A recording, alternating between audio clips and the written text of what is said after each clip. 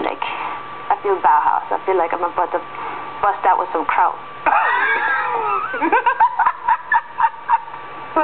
oh. Oh. oh, she's a pain in the ass, but she's